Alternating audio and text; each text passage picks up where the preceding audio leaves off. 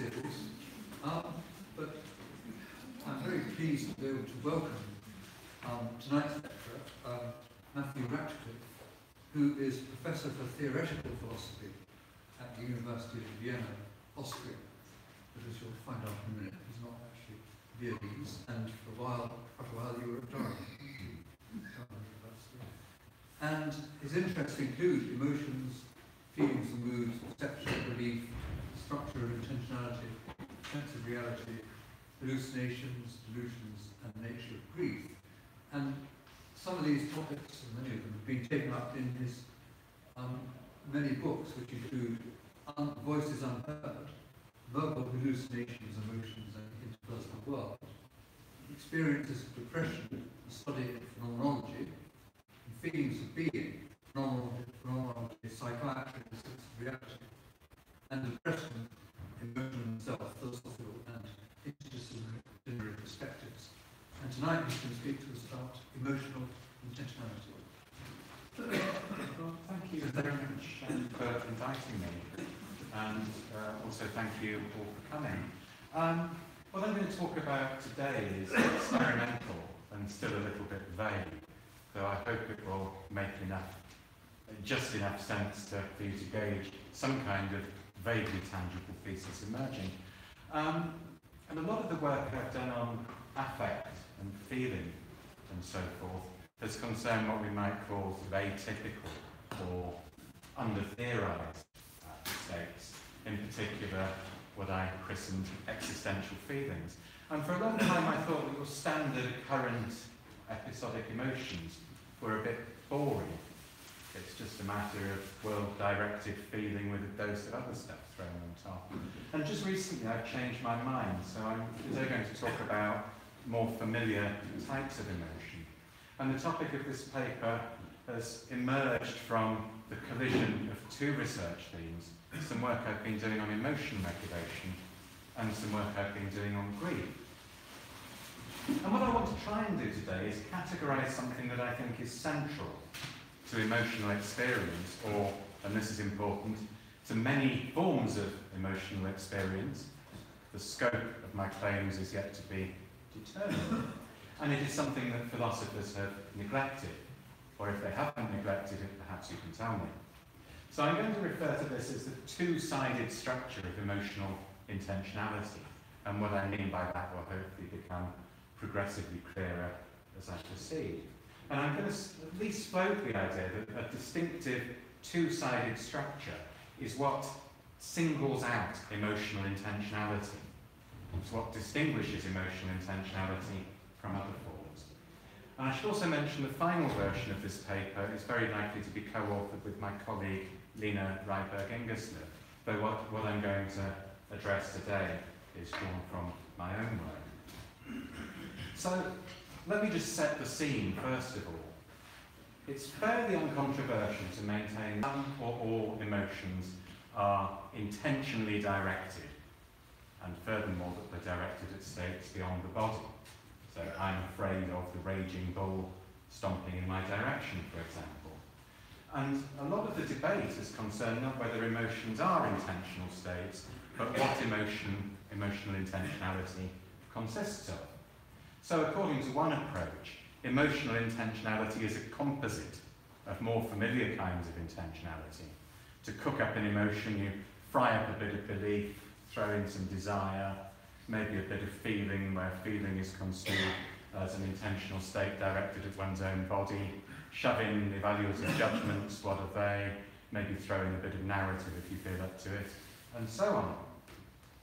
And contrary to this view, others have argued that emotions involve a sui generis form of intentionality. There's something distinctive about emotional intentionality. And I'm going to adopt what I think is a version of this latter view. Now, I'm going to assume from the very beginning that a contrast between the world-directed intentionality of emotion and emotional feeling is misplaced. Um, many bodily feelings are at the same time directed at things beyond the body. We might say it's through the feeling body that we experience the world emotionally. And quite a lot of philosophers have converged on this view recently. I tried to make a case for it by, for example, comparing emotional feeling to tactual feeling. When I touch this lectern, it's through my feeling body that I perceive something external to it. And indeed, through touch, we can experience things that are some distance from us. Um, when you touch using a tool, for example.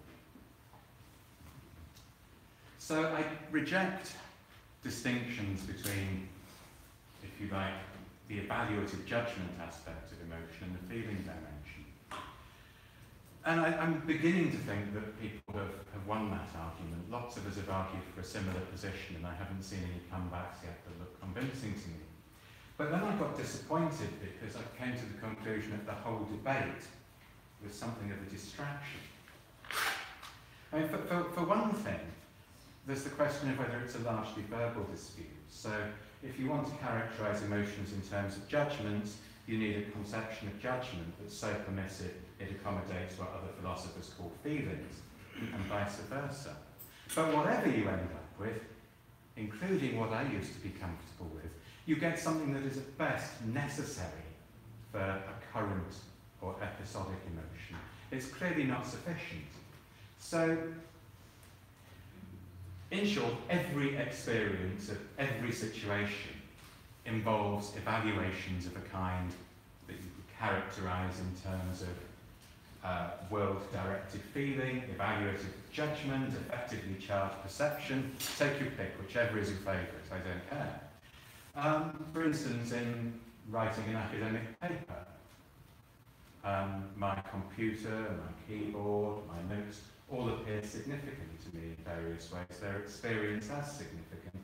But unless I wolfed down a Starbucks venti Americano that morning, and then proceeded to deal with 40 particularly irritating emails, I'm not going to be in an overtly emotional state.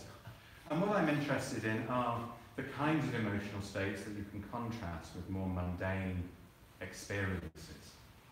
What distinguishes a specifically emotional experience from experience more generally? And I just don't think you can get that by appealing to judgments, feelings, or whatever. What you get is too permissive. And what I want to consider are two additional features of emotional experience, and I'm going to stick them together and hopefully say something vaguely new. So I want to look, first of all, at the way in which an emotion relates to a wider network of cares, concerns, values, and commitments. And I want to blend that with the dynamic structure of emotion as well. I think emotional experience and I should say I'm focusing specifically on human emotional experience rather than just emotion per se. I think what we have to do is, is emphasize the dynamism here. So what I'm going to claim, and here's, um, you know, as is traditional in philosophy, I'm going to reveal the plot before I get going. I'm going to suggest that emotional intentionality has a distinctive two-sided structure so when you experience something in an emotional way, when you see that raging bull heading towards you and experience it as frightening, the experience has a distinctive structure. You experience, when you experience the ball, what you ex- the, the, the emotion also includes a potential or actual disturbance of the wider experiential world within which that object of emo emotion is encountered. So You've got a localized emotional experience of something. And inextricable from that is something much more diffuse and pervasive and hard to pin down. Um, and in addition to this, I want to emphasize that there's a kind of dynamism involving a sort of tension between the localized object of emotion and the context within which it's encountered. Um, in particular, a localized object of emotion can destabilize a context through which that very object is experienced and understood. Phenomenologically, I have an intention, so I have an emotional experience of something in the context of a world, a realm that I find myself in. And yet, that experience somehow and to some degree destabilizes the wider context. So as a result, emotions are riddled with tensions. Now I should say my strategy here is going to be to focus on certain emotions that you would regard as strong, especially pronounced, and also deep, where I think the structure is most salient and where my claims are most plausible. And then what, what I'm going to try and do is tiptoe outside that, as it were, and suggest that maybe we can generalize. Maybe we can push this further. So what I'd like to do, first of all, is address some themes in the work of other philosophers that we can stick together to get some way towards this point. Now, there's a general consensus in philosophy that when we experience something emotionally, we detect its value or significance, its practical meaning, how it matters, its importance to us. And generally, it's assumed that such properties are somehow experienced, which doesn't imply the more specific claim that they are experienced perceptually. Furthermore, certain evaluative properties are experienced as integral to the object of emotion. It is the rampaging bull that appears frightening. It is uh, the film that appears exciting, unless it's The Last Jedi. um, but this, this, sorry about that, I couldn't hold back. I have to express my disappointment somehow, even though this isn't an appropriate forum. This might give the impression that emotional ways of experiencing things are localized. You have a, a particular entity within the world that appears to have certain evaluative properties. The emotion concerns the bull, it's an experience of the bull. The emotion is quarantined. But it should also be emphasized that this aspect of the experience is relational how something matters to me, whether it appears frightening or exciting or alarming or saddening, is symptomatic of a wider set of cares and concerns that I already have. So the fact that I'm afraid of the bull reflects pre-existing concerns for my survival, a dislike for experiencing excruciating pain and being stamped upon. And what I'd like to do is distinguish three aspects of emotional experience generally. You have the experience object of an emotion. I'm talking about the bull as it is experienced. And to use this standard corny example, I couldn't be bothered with anything more elaborate, so I'll stick with being afraid of the bull. Um, then also you have the emotional attitude towards that object. So you've got, you're fearing something, and it appears frightening, it looks threatening. But then in addition to that, we've got to acknowledge the background, cares and concerns in virtue of which one has an attitude of that type towards that object. now,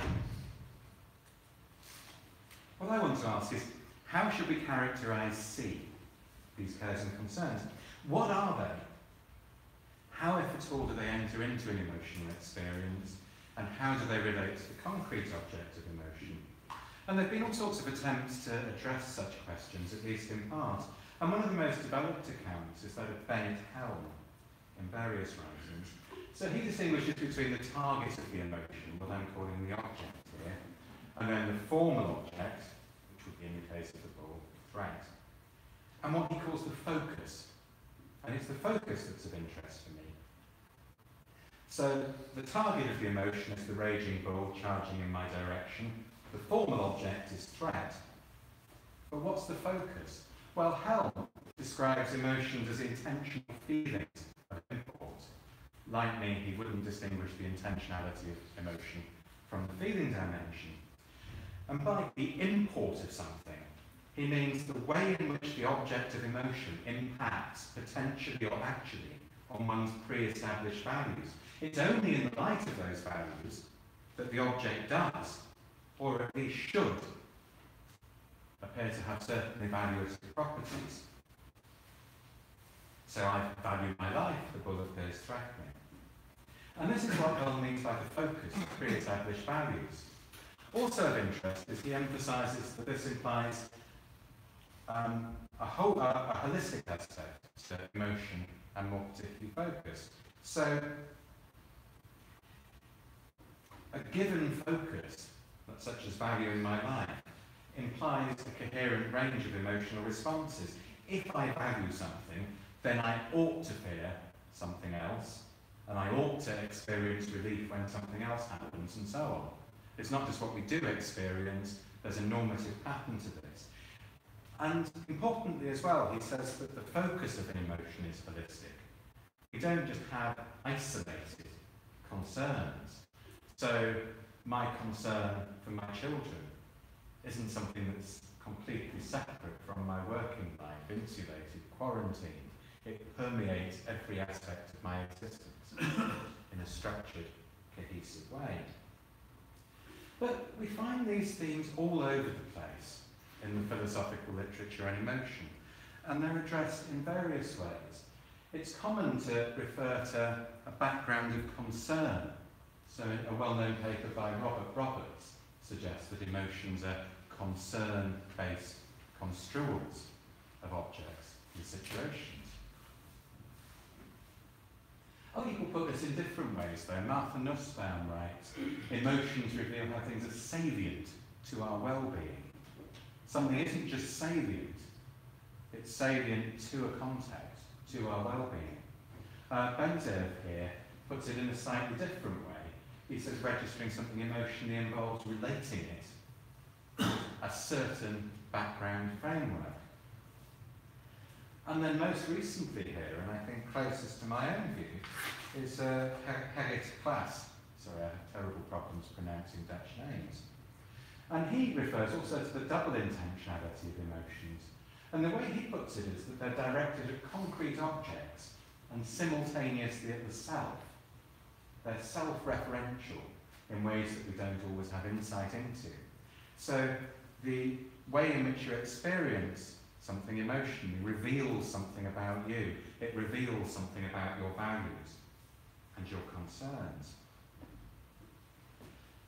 Okay, so the first thing I want to emphasize is that this focus or self-referential aspect of emotion isn't just something that's partly responsible for generating the emotion. It's also an important constituent of the emotional experience. And it's, it's experienced neither as an internal state of oneself or as an evaluative property adhering to something or situation in a pre-given world. Rather, this focus, this background, is integral to the experiential world that we ordinarily take for granted as a backdrop to our various experiences, thoughts, and activities. And I'll try and spell that, out a bit more clearly. So, emotions involve both a specifically focused intentionality, but inseparable from that, a kind of background that envelops the world more widely. But what I also want to chuck into the mix here is a second aspect. To understand the relationship between the background and the foreground, the focus and the target, we also have to emphasize the dynamic structure of emotion. And in a way that shouldn't simply be contrasted with rational thought. And again, Martha Nussbaum is very good on this. She talks about how an emotion is an intelligent process. Emotional rationality moves and embraces and refuses. And when we're looking at strong, occurrent emotions, the upheaval that they oppose isn't it, that they involve isn't opposed to reason. It is a process of recognition, a way of engaging in and making sense of one's situation. We can also add to this that many human emotions of these are not short episodes, regardless of how many neurobiologists and others you might read. Certain emotions are stretched out, they involve longer term processes. And this is something Peter Goldie really wanted to emphasize um, in his final works. You take an emotion such as guilt or grief, it's essentially stretched out in time. Furthermore, um, its nature is what holds it together, if you like, isn't some feeling that persists through all of it. Somehow you have a cohesive temporal pattern, even though none of the same constituents present at time one need be present at time two. So I want to bring the, these two themes together and suggest that we can begin to, we can identify what is distinctive about certain forms of characteristically emotional intentionality. And the answer, I suggest, is that there's a dynamic, kind of experience interaction going on between the focus and the concrete object of emotion. In short, the, emotion, the object is experienced through a pre-given evaluative framework. But what we have to add is to some degree and in some way, however subtle, however pronounced, however localized or wide-ranging, it also destabilizes that same framework. So there's a kind of tension.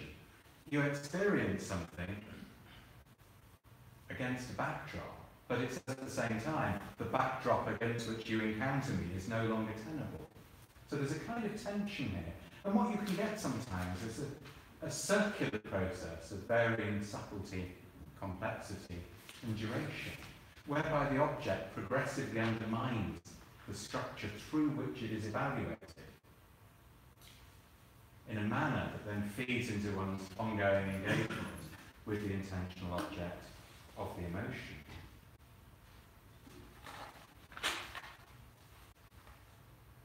So, and what I also want to reiterate is that the backdrop, this background that I refer to, to a localized emotional evaluation, is not experienced principally as a state of oneself or as a state of a situation in an already established world. For the most part, it's etched into the world, into a realm that we already find ourselves dropped in when we think about this, evaluate that, believe this, or feel that way, feel that. So, I suppose the way I'm thinking of this is the world that we take for granted in our everyday activities is rather like a forest with all sorts of intersecting trails that we habitually follow. And our patterns of thinking, what we say, well, I suppose even I would say our grasp of certain concepts.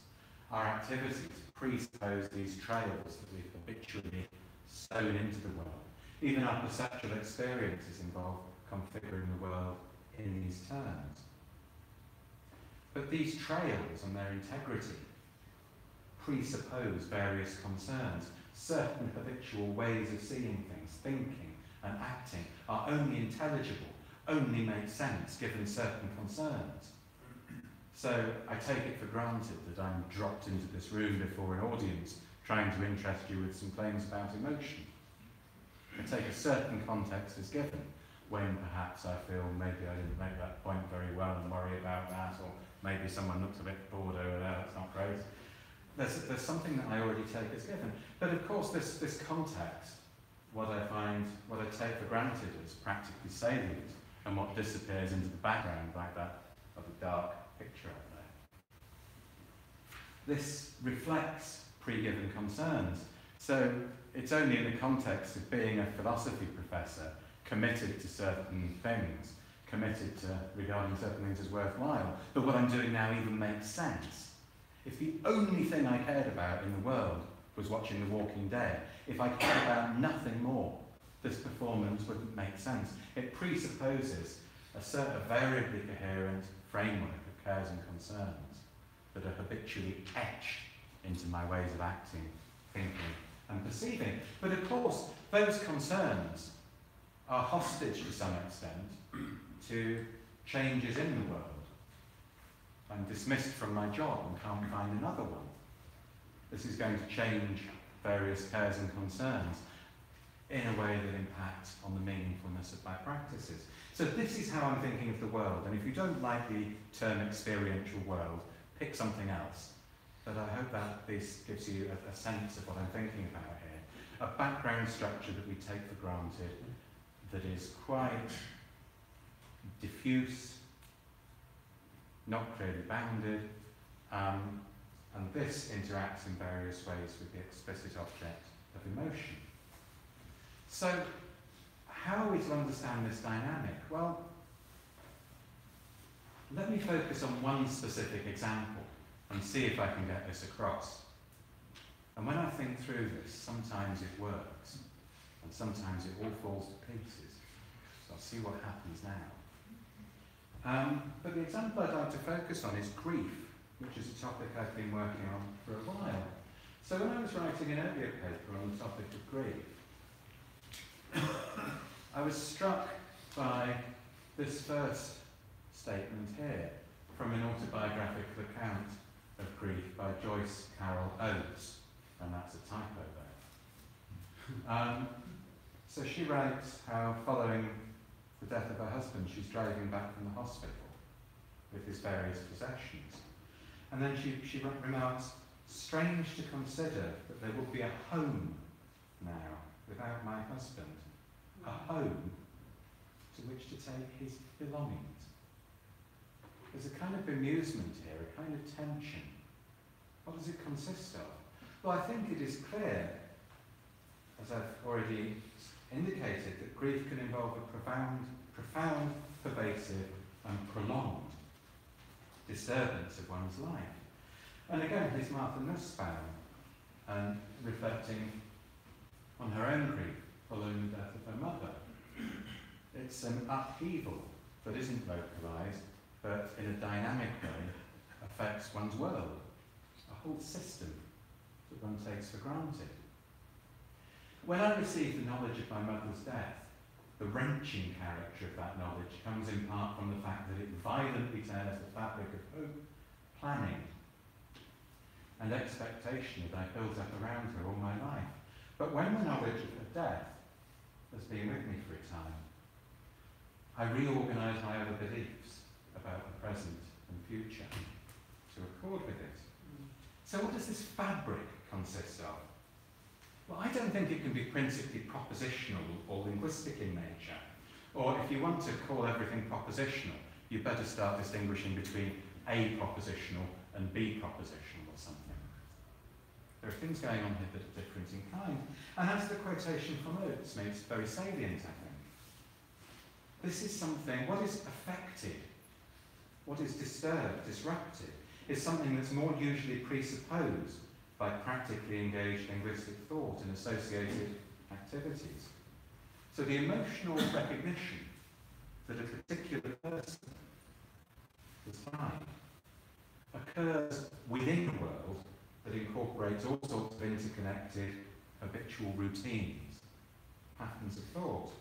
But all of this, for some people, well, all of this depends for its intelligibility on variably integrated cares, commitments, concerns, values. And for some people, the majority of these cares and concerns implicate another person in one or another way. I do these things for her. I look forward to coming home where she'll greet me. We do this together in order to actualize something that we care about. We can achieve these things together. I cook dinner for us. Dinner's something that we eat together. You can go on and on. So you can understand this disruption of the world in terms of the, the loss of intelligibility of certain practices that depend on concerns that implicate the deceased and therefore no longer make sense. But the tension arises because all of this doesn't happen instantaneously. It's not that you just recognise that somebody's died and therefore you instantly update all your concerns. The tension between a world that endures and the fact that that world can't endure.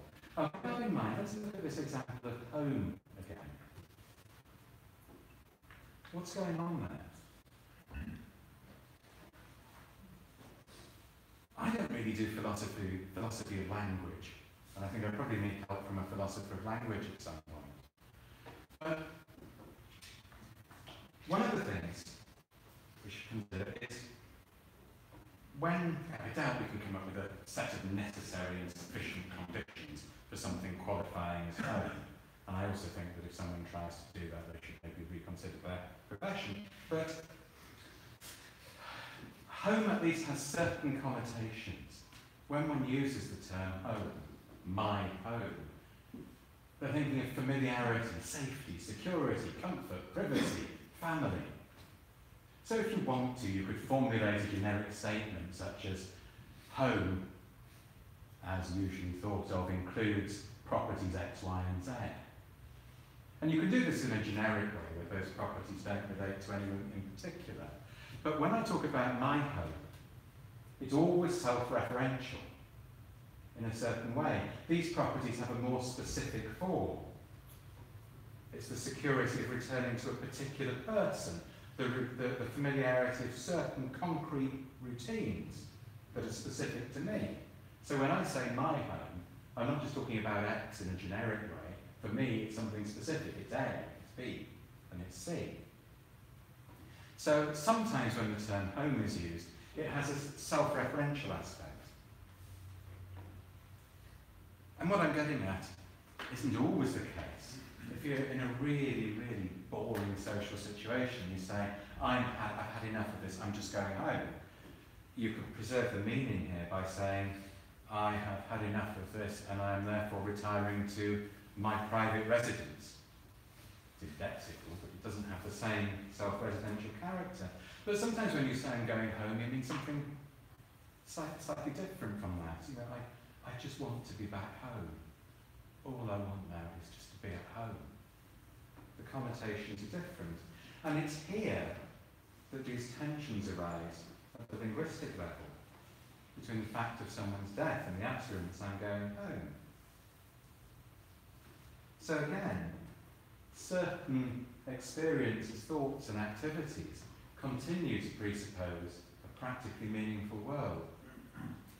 And this also goes for explicit linguistic expression. It's not just linguistic.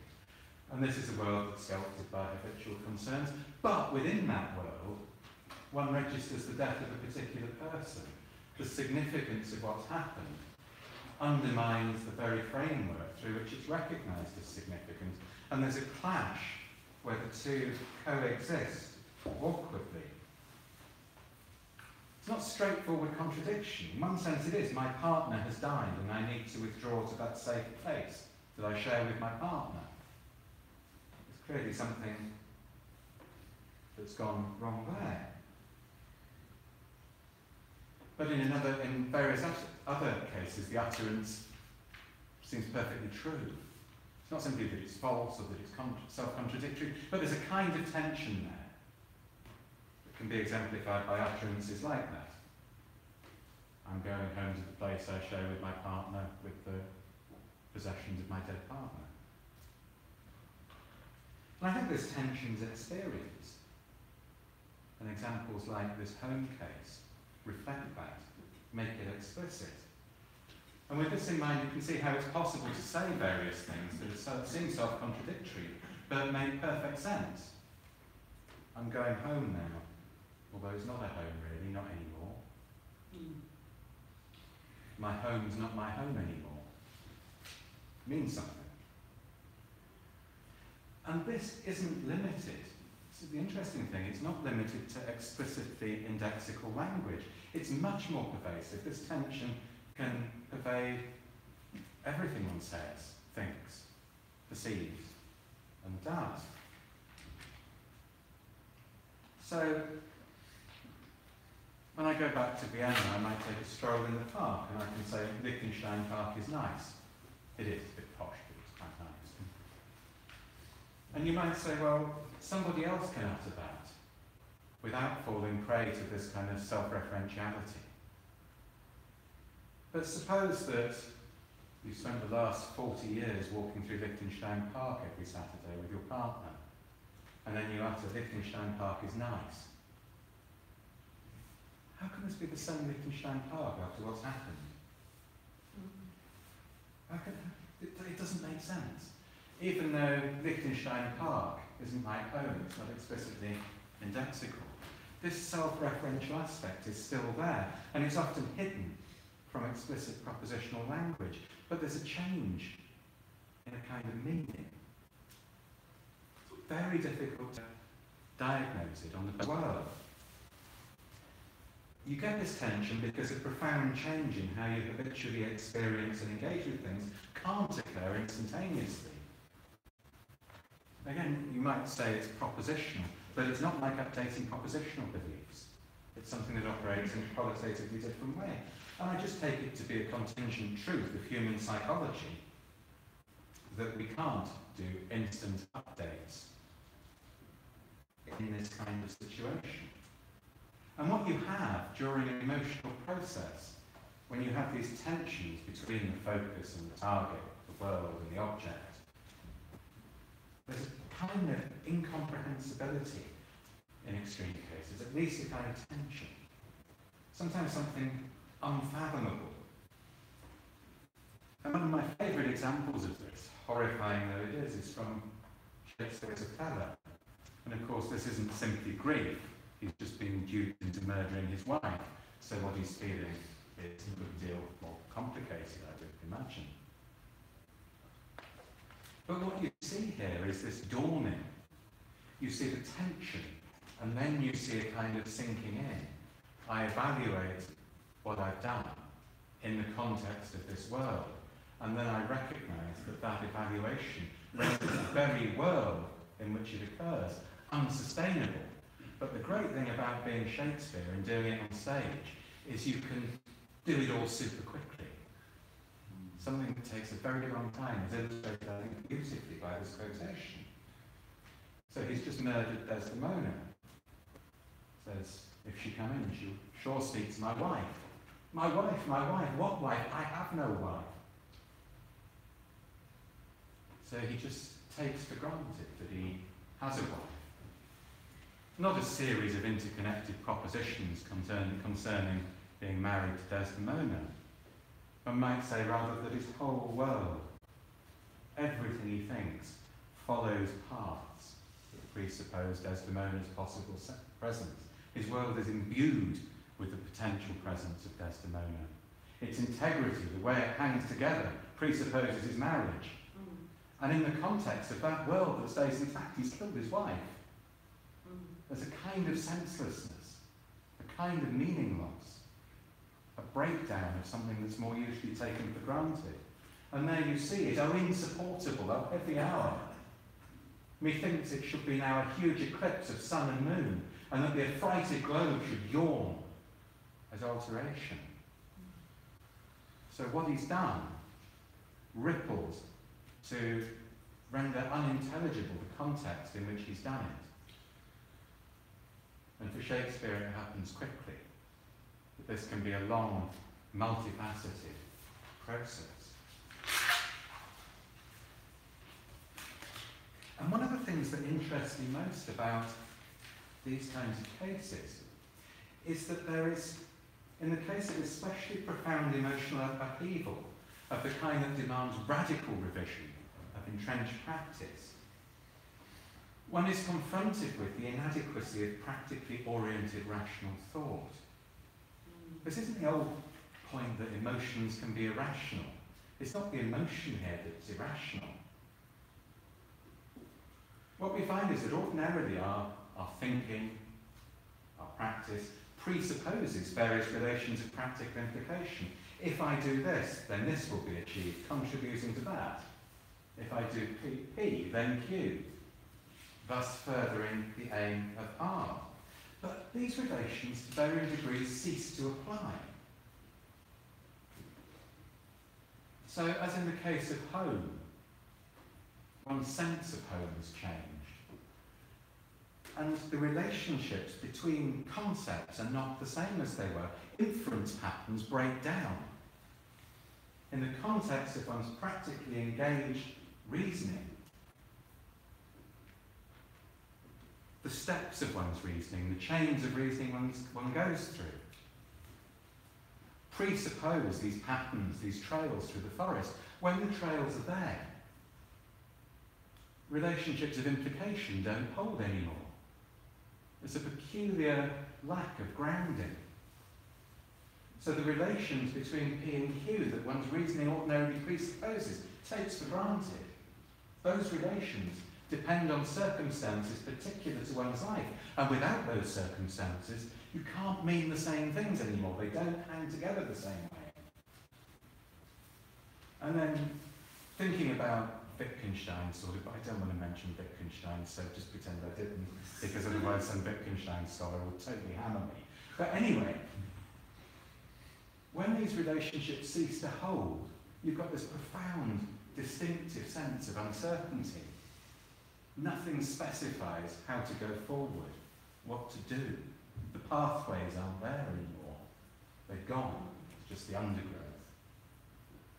It is analogous to saying one, two, three, four, and then being confronted by this strange reality that nothing dictates what comes left, comes next.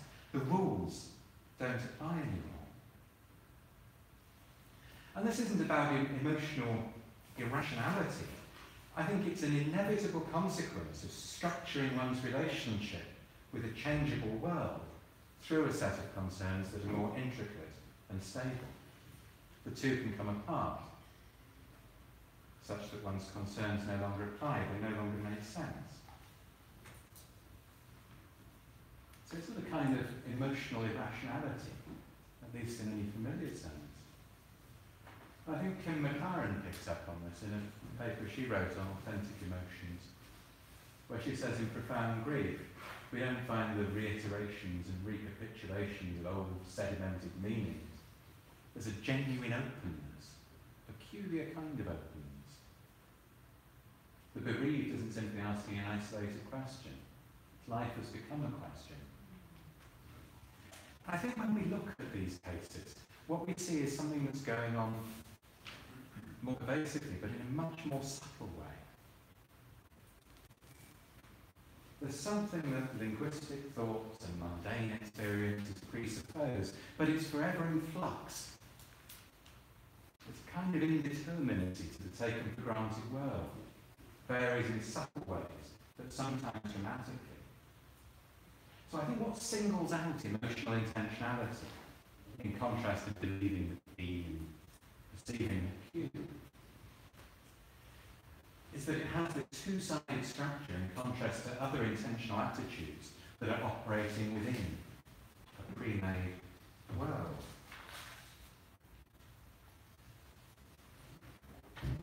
There are all sorts of contexts when we see this. A good research tool is Google. Um, if you go onto Google and just type, I can't believe this is real, you'll find all sorts of things. So these are just condensed versions of things that you'll find a lot on Google at the moment, where you have a tension between a certain evaluation and it's just not making sense. This just can't be happening. There's a clash between the evaluation and a world that still stands fast, even though it can't. I can't believe that Donald Trump's president. I know it, but it, it isn't integrated into the world. There's a tension between a world I still inhabit and can't let go, and the fact this guy's in the White House. Of course, I can't believe that someone's died. Another very popular one, I can't believe they voted for Brexit. Or, oh, I can't believe we've got our country back, depending on which one you read. And the more negative ones are much more prevalent. I can't believe I won the lottery. It's Not so common. Um, couldn't believe what I was seeing. I find a lot of that. And then you, you find a lot of statements to the effect, I know it's true, but I still can't believe it. Now, if you're going to apply this more generally, all sorts of further distinctions need to be drawn. We need to distinguish less profound cases and more localized cases. Also, disturbance has rather negative connotations, but also positive life events can involve perturbations of a world that we took for granted. We can also distinguish between emotions that involve the potential disturbance of a world and emotions that involve the actual disturbance. But in fact, that distinction isn't as clear as, say, an epistemic factive distinction, because a potential disturbance can also alter one's world in just a sure way as an actual disturbance. Somebody tells you they're going to build a gigantic aircraft runway right next to your beloved farmhouse the very possibility of this happening, even though it hasn't, will unsettle things, will affect what is actually the case. And we need to make all sorts of other distinctions. Sometimes this involves relief from another emotional predicament. We need to think of this in complicated ways. One inhabits a kind of emotional turbulence. Then things are now resolved satisfactorily. But again, even in these cases where an emotion involves relief, resolution and calm, you find this sort of discourse. I can't believe I don't have to worry about it anymore. I'm going to have to pinch myself to convince myself it's real. So it's something we see a lot, but it's something I believe has been under-theorised. And I want to add a further thesis, which I'm not going to argue for. I just hope we go, oh yeah, that sounds really intuitive, and let me get away with it. which is that emotions aren't just regulated, emotional processes, when they operate well, are themselves regulated, regulated processes. The emotion doesn't disrupt. An emotional process is a way in which the disruption of the habitual world is acknowledged and then negotiated.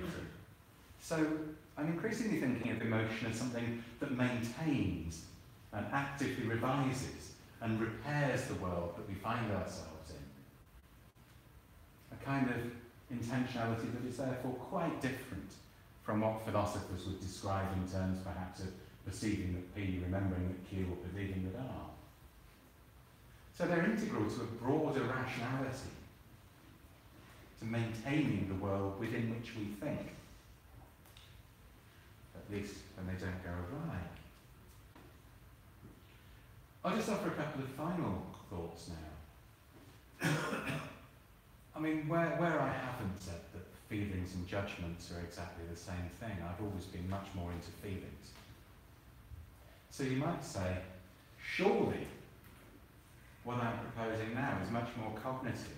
What you have is an emotional evaluation that says there's more to come. This evaluation implies the destruction of a whole host of habitual assumptions that you still take for granted. This is, this is going to percolate into your world and involve a gradual updating process with all sorts of conflict upon the way. So surely this involves a temporarily drawn out string of judgments beliefs and updates and the like. But in fact, I think a lot of the work can be done by feeling. You might say that a feeling can't point beyond itself. Surely a feeling can't include a sense of its own inadequacy. A feeling can't say, this evaluation is not adequate, it's not complete, this is going to ripple through your world. Well, I think it probably can. And I won't again offer an argument, I'll just make a suggestion. And I was going to say some things about emotional depth or embarrassment. Um, sorry. Uh,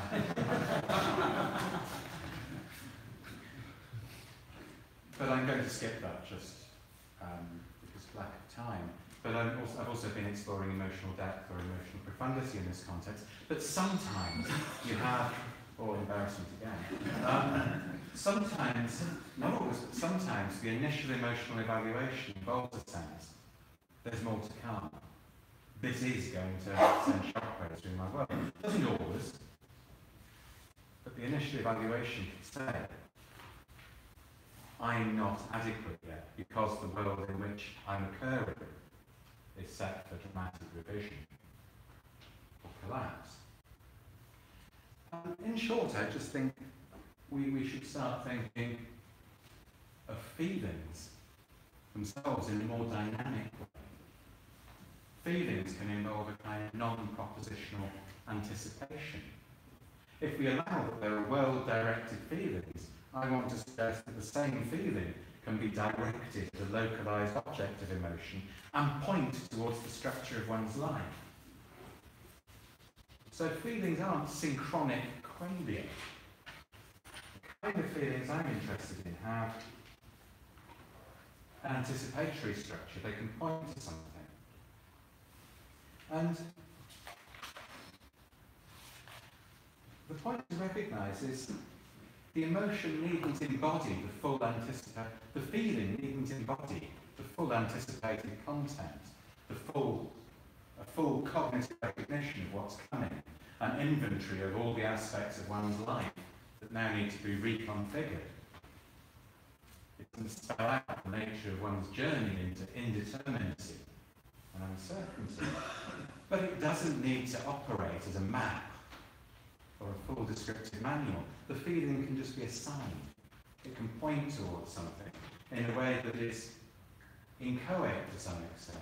What I currently feel isn't fully captured by the content of a given moment. A feeling of depth, of import, of profundity. is the signalling of a route. It's a sign towards something rather than a map of it. A sign that can be more or less accurate. So one analogy would be tip of the tongue phenomena.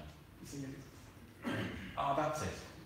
And when you do recall the name, you can say, yes, that's what I was searching for. But I think on a plausible interpretation, plausible interpretation, the full content wasn't there beforehand. It's just that what comes next accords with the less specific anticipation.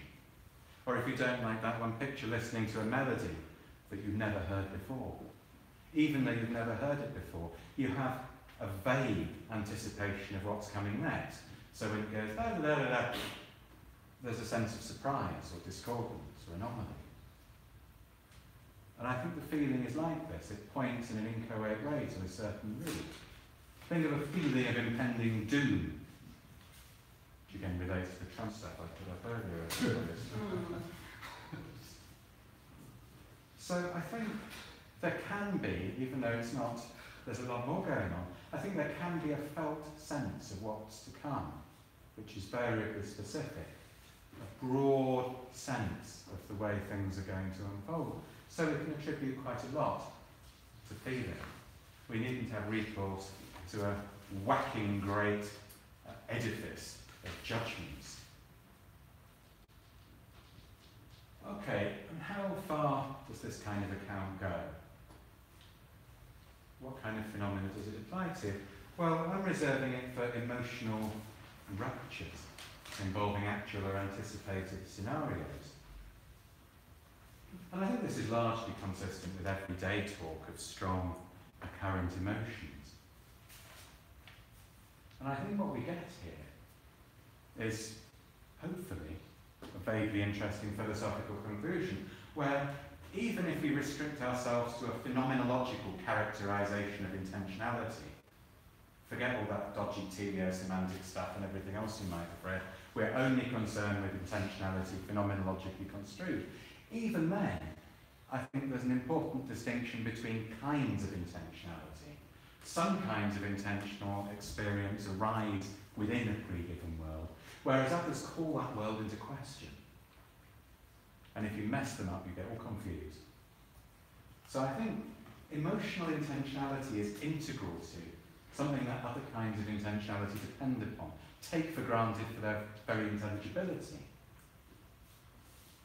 And here I need to do more work, I think. But to put it in a vague but not completely vague way, hopefully, it's not a modality of experience that exists alongside them. It's not a sui generis mode of intentionality riding alongside perception and memory and belief and the like. And it's not simply a form of perception or something either. Rather, it straddles the boundaries between familiar categories of intentionality. It's something that our thoughts, perceptions, memories, and imaginings are imbued with for the simple reason that they all occur within the context of a world that has been put into question. Grief, for instance, infects all of them. Does this allow us to give a unitary account of human emotion? Of course not. And there's absolutely no prospect whatsoever of that um, because there's no agreed inventory of emotions. And there are all sorts of conflicting conceptions of emotion in different concepts of thought and practice. Nevertheless, I think this gets at something that is absolutely central and distinctive of a core group of emotional phenomena, certain paradigm cases of strong or deep emotions, if you like. And perhaps we could say the same structure is there in more subtle cases. It's just not as salient. What we can make explicit in relation to grief, we can find in more mundane cases as well. And also, something else I'm thinking about is that various emotions that, are, that depart from this, that don't quite add up, are precisely the ones that tend to be described in terms such as shallow, not genuine, or inauthentic, or construed as deficient in some other respect.